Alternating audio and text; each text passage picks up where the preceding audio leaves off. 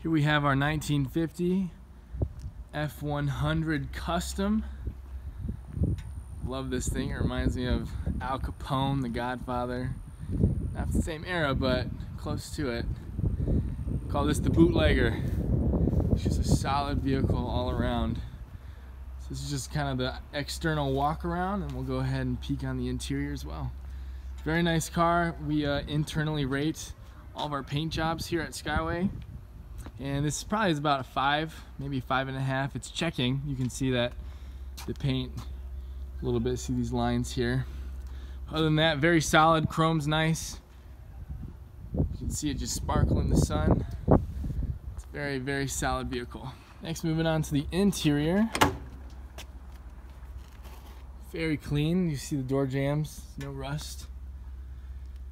Very well put together. It is a three speed, three on the tree, manual transmission, factory odometer, and I believe that clock is as well. All parts are functional. Nice and spacious. Headliner, very clean. Just a very, very, very solid car, especially for the pricing. Lots of history. Love looking at this thing. So all function, functionality of the interior is working. So you even see that the windshield wipers still work properly. let's get back down. And so let's just go take it for a small little spin here in the parking lot.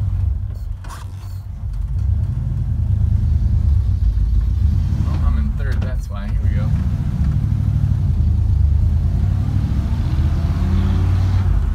Very smooth. Transmission works like butter. Most time you hear the expression, grind them until you find them. Not in this thing, it's very clean. All right, next let's take a look under the hood. So this is the V8 flathead produced by Ford from 48 to 55 I believe and it has 255 cubic inches and it's often referred to as the Model BG. These things, they put out a ton of power, but they were super, super durable.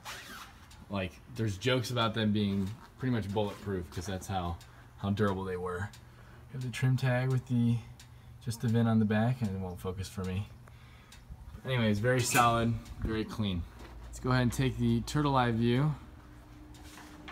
So front drum brakes. But look how clean the undercarriage is. No rust, really, other than some small, very minor surface rust. Very, very clean.